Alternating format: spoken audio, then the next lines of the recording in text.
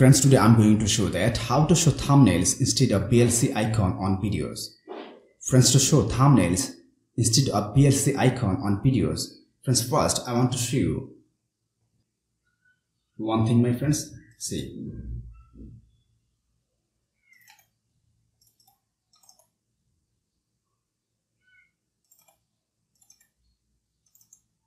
See my friends, now if you want, easily you can see the video thumbnails, right? Instead of VLC media player icon.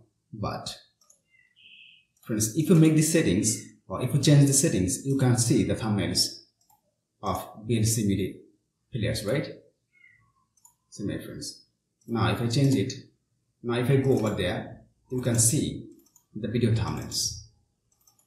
See my friends. Now you can see the VLC media player icon. So how you can change it my friends? Friends again same you have to do the work you have to go to this PC then you have to click on view then you have to click on options. Again you have to click on change folder, folder and search options. Then you have to click on view. After that you have to remove the check mark from here. The always show icons never thumbnails this one. Remove the check mark then click on apply. Then you have to click on ok. After that you have to go to the drive where you keep your file.